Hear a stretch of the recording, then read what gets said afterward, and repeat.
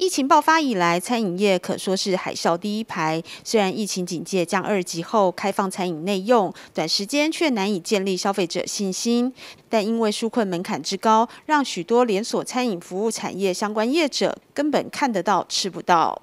在五六月的时候，政府提出很多的纾困方案，这些业者都有去申请，都吃了闭门羹回来。哦，为什么会有闭门羹？第一个，信保额度三千万。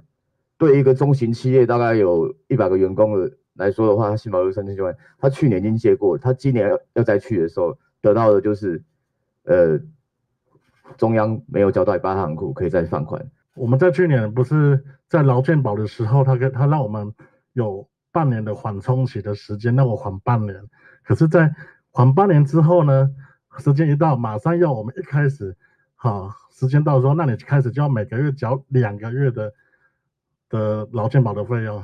立委邱成元表示，根据经济部统计处公布，今年六月餐饮业衰退达百分之三十九点九，出现史上最大跌幅，无薪假人数也续创疫情以来新高，并以住宿及餐饮业最多。但许多店家申请纾困贷款却被拒贷，根本撑不到新一波的振兴措施。政府端出来的一些纾困的方案跟贷款的方案，其实是缓不济急，而且对于一些中小型规模在跟银行。呃，打交道上哈，相对比较弱势的，尤其是我们所谓的这些夜市的摊商或商圈的这些微型企业来讲，相对来讲是不利的哈。